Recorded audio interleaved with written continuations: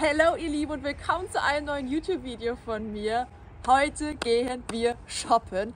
Und nicht nur irgendwie shoppen, sondern wir gehen shoppen für mein neues Pferd Baldor. Wir sind natürlich gerade bei Lösdau und ich brauche natürlich noch ein paar Sachen. Ich habe zwar schon so viel Kram, aber man kann ja immer nie genug Kram haben. Und ja, ich zeige euch heute mal, was ich noch alles so kaufe für ein neues Pferd, was generell so meiner Meinung nach so wichtig ist für die Grundausstattung für ein erstes Pferd oder für ein neues Pferd. Deswegen würde ich mal sagen, wir gehen jetzt sofort rein, holen uns einen Einkaufswagen und plündern hier den Lösdau. Let's go!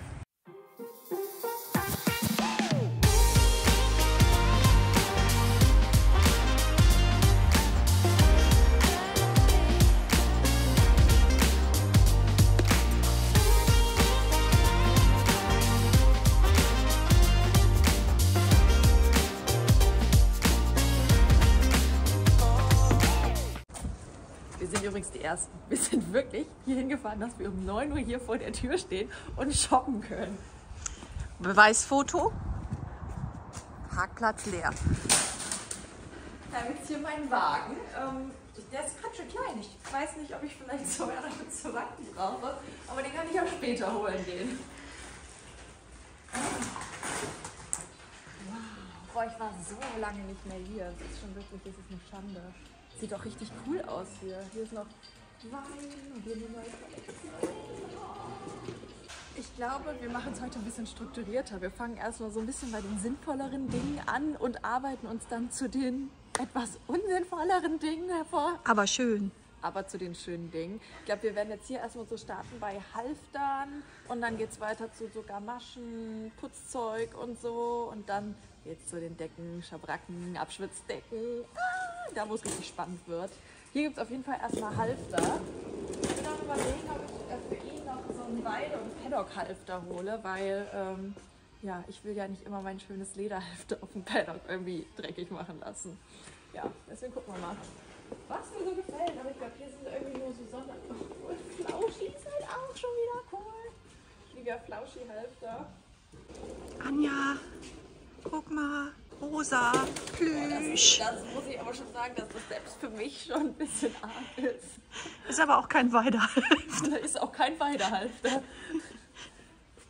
Das ist ja Blues Weidehalfter hier. Das ist sogar ein Sale. Aber das habe ich ja sogar. Ich bin schon wieder bei den Lederhalftern. Guck mal, sogar Krokolack. Ist das nicht geil? Ist aber auch kein Weidehalfter. Welche Größe braucht er eigentlich? Pony. Er braucht auf jeden Fall äh, Warmblut oder auch sogar Kaltblut. Nämlich einen Riesenschädel. Wirklich ein Riesenschädel. Ja, hier ist dann so Kaltblut. Okay, so groß ist der Schädel auch nicht, aber schon ein großes Warmblut. Also er kann sich schon die Halfter auch mit äh, Blut teilen. Wir schauen mal. Schauen mal. Spielzeug, das müssen wir auch gleich noch gucken. Ja, Spielzeug müssen wir gleich auch noch gucken. Okay, weiter geht's. Hallo Lena, hallo Hella. Wir fangen jetzt mal bei den Basics an. äh, Und zwar mit dem Gebiss. Ich weiß, dass er auch vorher mit einem Sprengergebiss geritten wurde. Mit so einem einfachen, äh, mit einem einfachen doppelt gebrochenen. In 13,5. Deswegen würde ich das jetzt einfach auch mitnehmen und ihn damit weiterreiten, dass er das erstmal gewöhnt ist. Ist aber nicht 13,5. Hier haben wir 13,5. Voila. Meiner Lieblingsabteilung. Lampe, Sattelgurte. Ich hoffe ja, dass er sich jetzt aktuell noch einen Sattelgurt mit dem Semi teilen kann. Weil ich glaube, das könnte ein bisschen äh, ja, schwierig werden, weil Sammy so ein bisschen dicker als der Baldo. Ähm, ja, deswegen vielleicht. Der ist auch richtig schön anatomisch geformt. Und von Erlöser Eigenmarke. Natürlich brauche ich auch einen neuen Sattel und dafür braucht man ja halt Sattelgurt, man braucht Steigbügel, man braucht Steigbügelriemen. Ähm, einen Sattel kaufe ich jetzt nicht hier, aber Steigbügel habe ich mir auch schon online bestellt. Deswegen muss ich die jetzt nicht mitnehmen, aber hier gibt es natürlich auch eine schöne große Auswahl. Weiter geht's. Trense brauche ich zum Glück auch nicht, die habe ich nämlich auch schon bestellt. Und Kandare werden wir hoffentlich auch irgendwann brauchen.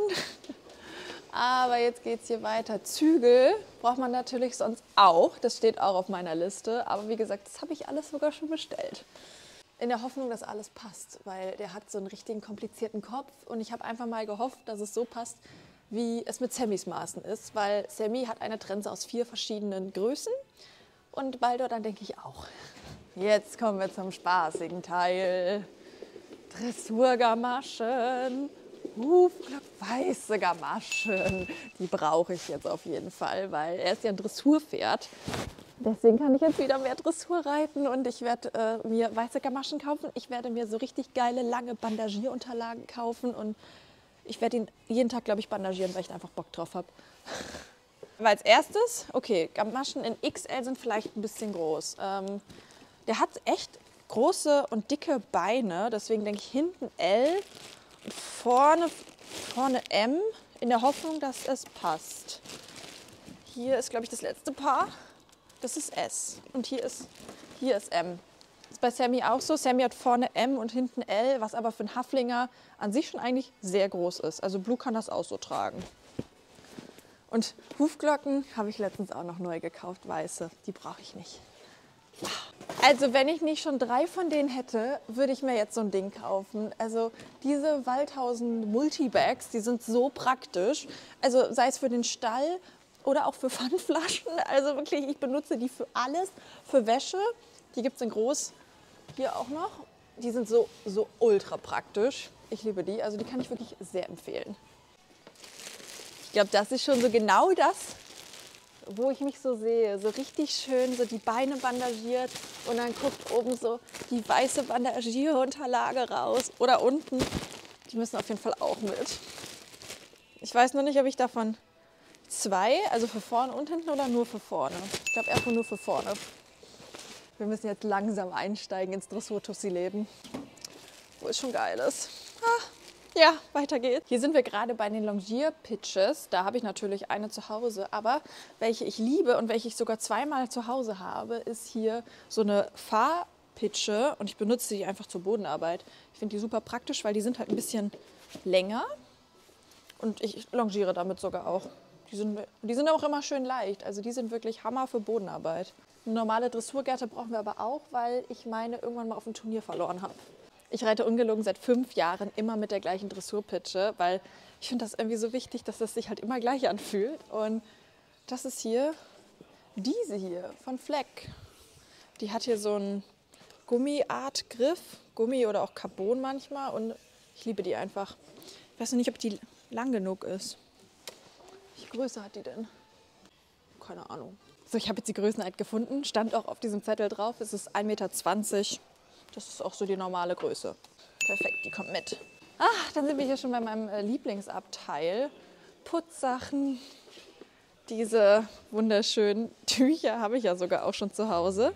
Damit mache ich den Blue immer sauber. Und Putzzeug habe ich aber auch soweit schon alles bestellt. Also muss ich gar nicht mehr irgendwie großartig was mitnehmen. Wir brauchen eher so Pflegemittel. Ich habe jetzt hier noch eine Bürste gefunden für die Hufe, um die so richtig schön sauber zu machen, weil die sind so ein bisschen noch die Problemzone aktuell. Also ich habe ja meinen ganzen Kram schon alles bestellt, aber was ich sonst so fürs erste eigene Pferd oder fürs neue Pferd alles kaufen würde, wären halt wirklich die Basic-Sachen. Und dann würde ich erstmal gucken, was ich alles noch so brauche. Basic-Sachen ist halt so eine richtig schöne Wurzelbürste, die auch so ein bisschen fester ist. Die ist zum Beispiel wirklich richtig gut. Dann halt ein ganz normaler Striegel, eine Kardätsche, Hufauskratzer, irgendwie noch eine weichere Bürste oder halt so ein Lammfell.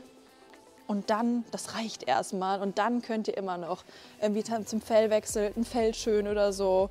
Aber wie gesagt, die Sachen braucht man erstmal so als Basic-Ausstattung. Ich nehme jetzt auch noch neue Hagebutten mit. Die waren nämlich leer und die gebe ich meinen Pferden immer super gerne so als Leckerli oder auch so über Smash. Wenn da noch Zusatzfutter drin sind, dann gibt es immer noch die dazu. Als kleine Vitaminbombe. Jetzt stehen wir hier vor der Qual der Wahl. Was für eine Leckerli-Sorte. Also eigentlich kriegen meine Pferde nicht so viel Leckerlis, aber der Baldo, der darf sie kriegen und der verträgt die auch gut. Deswegen, keine Ahnung. Nehmen wir Himbeerleckerlis? Hört sich gut an. Himbeerleckerlis hört sich gut an, oder? Wir haben, gefunden. Ich habe hier Regenbogenküsse gefunden. Leckerlis. Also eigentlich muss ich die schon mitnehmen. Ich war eigentlich schon wieder eher bei der Diätvariante. Zuckerfrei, getreidefrei, mit nichts. Obwohl die sind, die sind schon echt süß. Die müssen mitkommen. Auch super wichtig, ähm, ein neuer Salzleckstein. Ich mache hier direkt wieder Randale. Und für Sammy kann ich auch schon wieder einen mitnehmen, weil Sammy inhaliert diese Dinger immer weg. Das ist richtiges Workout hier. Ha, ha, ha. So. Und guck mal, was hier noch ist, Anja. Hier ist noch Sale. Das ist die ganz gefährliche Abteilung. Oh, hier sehe ich schon direkt die ersten richtig schönen Shirts. Hier von Cheval Deluxe, ein geiles Funktionsshirt. Wir haben Cavallo-Pullis. Oh, oh, diese Jacke ist auch so schön. Die habe ich sogar gerade in schwarz an. Also, hier könnt ihr euch schon mal richtig gut ausstatten. Ist was in meiner Größe dabei? Ja, ich habe hier schon eine Jacke gefunden. Können wir mitnehmen. Also echt coole Sachen hier. Auch von den ganzen Top-Marken. Jetzt hier Cavallo und Piqueur, East. Da könnt ihr mal vorbeischauen. Hier ist noch mehr Sale. Also es ist wirklich eine ganz gefährliche Abteilung hier. Hier sind noch die ganzen Schabracken und Abschwitzdecken. Hier sind noch mehr Schabracken. Also kommt mal vorbei im Löster und Erftstadt. Hier gibt es geile Angebote. Das ist hier, glaube ich, gerade das Paradies, weil Baldo ist so ein richtiges Spielkind. Und ich habe schon im Vorhinein gesagt, ich muss ihm unbedingt einen Jollyball kaufen und eigentlich auch so einen großen Ball, weil meiner ist einfach, den habe ich damals bei Hellas und Toms Show mitgebracht und den habe ich jetzt da vergessen. Und wir haben uns zwar schon hundertmal wieder gesehen, aber wir haben immer wieder vergessen, diesen Ball mitzunehmen. Deswegen liegt er aktuell bei Tom und Hella. Also liebe Grüße gehen raus. Mein Ball ist da super gut behütet. Ich bräuchte Yeah. jetzt langsam mal einen neuen. Guck mal, da ist er sogar. Boah, der ist ja auch geil. Da kann man so Möhren reinstecken. Aber der macht ja aus, aus so einem Ball schon so einen richtigen Fun-Playball. Also ich kann mich gar nicht entscheiden. Vielleicht nehme ich sogar den mit. Aber hier gibt es noch so viele coole Sachen. Ich finde das auch voll cool. Da kann man dann so Heu reinstecken. Den kann man auch so aufhängen. Wir können den einfach, die ganze Box wird so wie so ein Kinderspielparadies.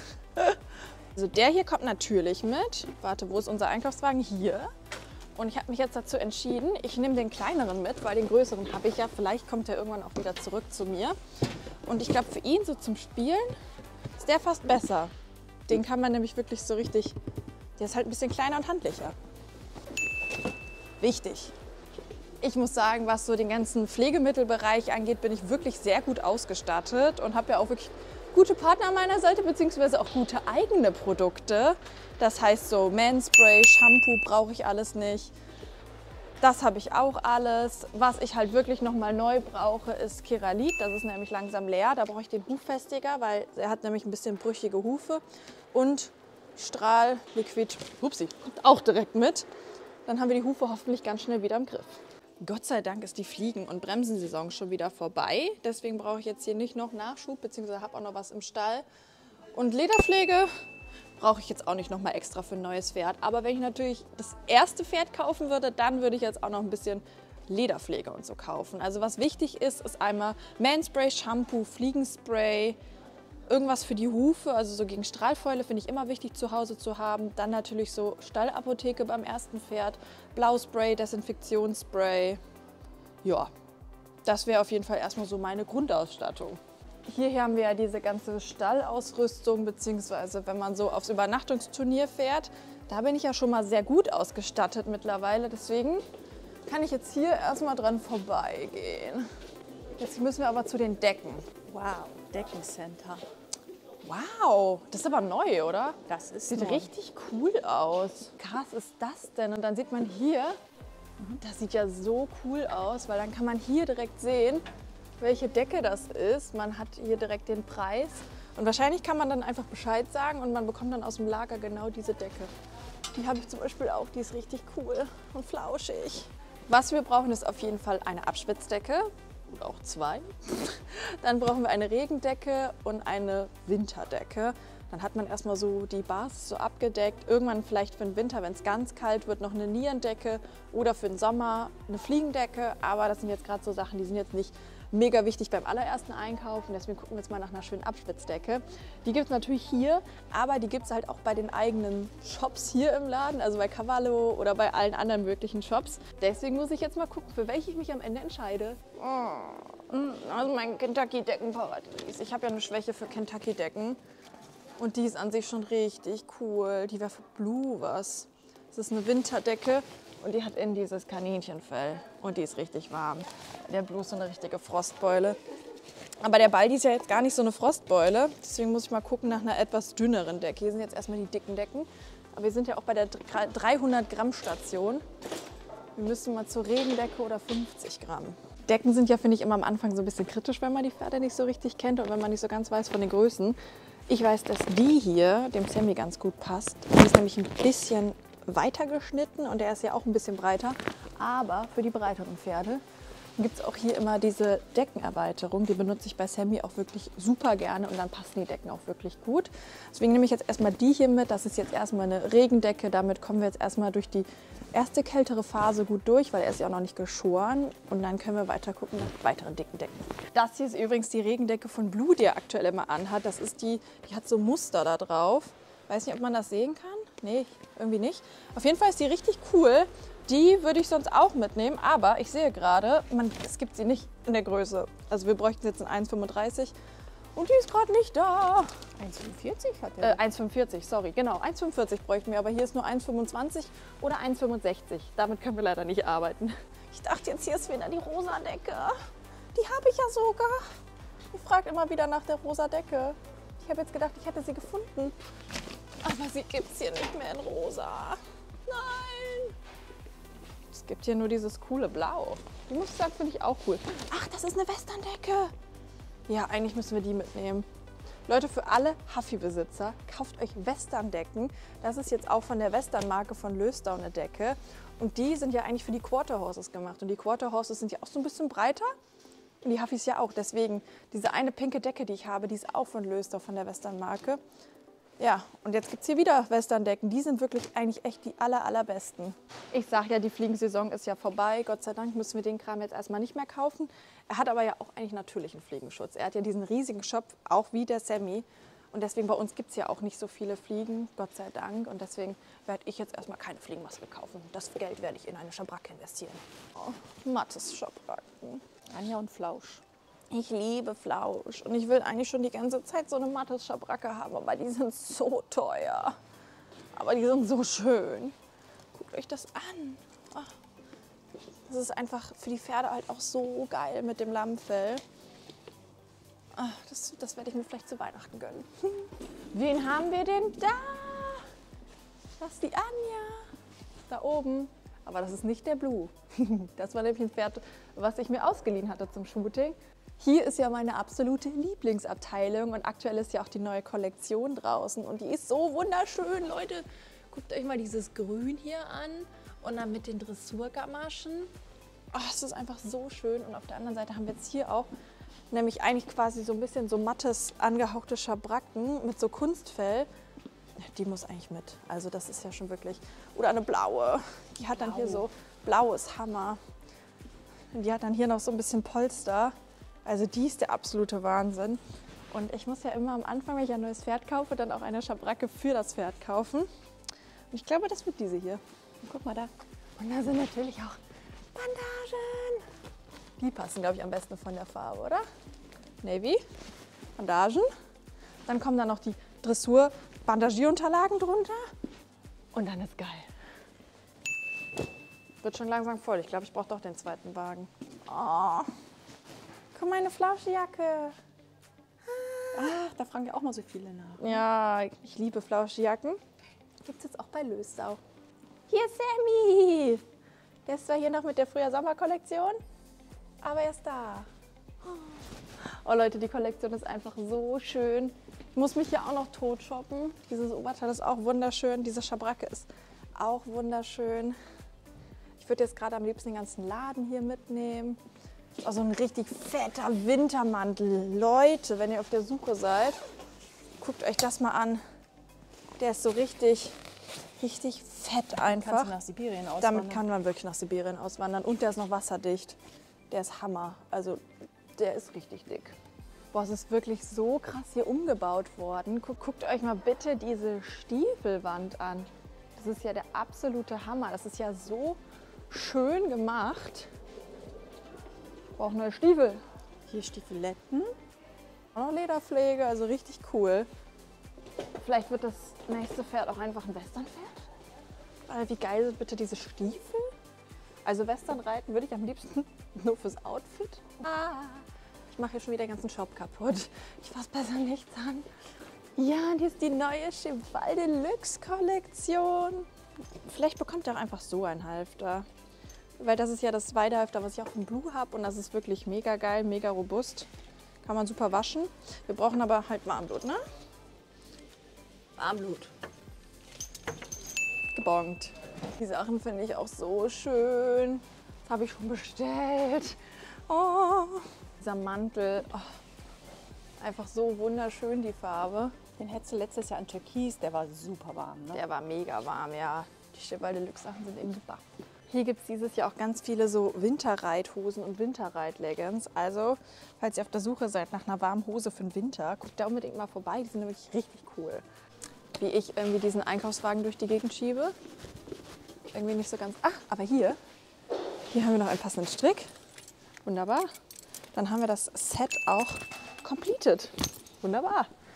Und hier geht es auch direkt weiter mit dem, mit dem richtigen Abteil. Und zwar Stofftiere. Welches darf ich mitnehmen? Alpaka ist cool. Das Alpaka ist wirklich cool.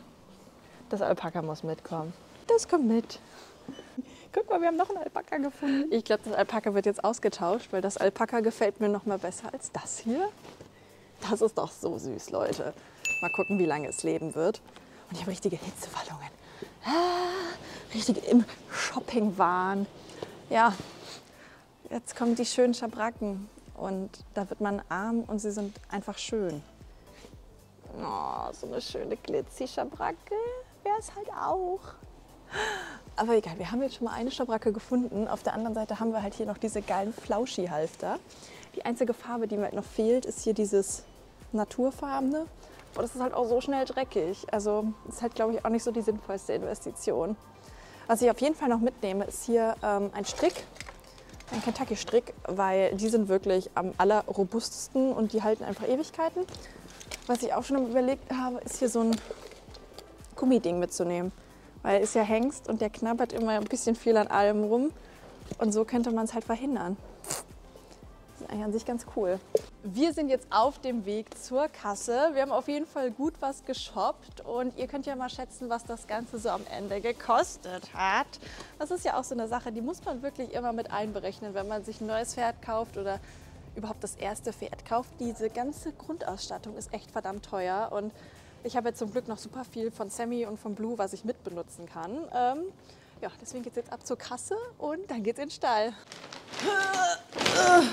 So, ihr Lieben, ich habe jetzt hier meinen ganzen Einkauf in der Tasche. Hier ist auch noch die Gerte und auch noch ein Flyer. Hier bald ist Bayerische Woche, schaut auf jeden Fall mal vorbei. Ja, ich werde jetzt meinen Einkauf erstmal ins Auto bringen und das war es auch jetzt soweit mit dem YouTube-Video. Jetzt düse ich in den Stall. Ich freue mich riesig auf den Baldor, auf den Blue und vorher fahren wir sogar noch bei Sammy vorbei. Und ja, lasst gerne ein Abo da, ein Like da und dann sehen wir uns beim nächsten Video.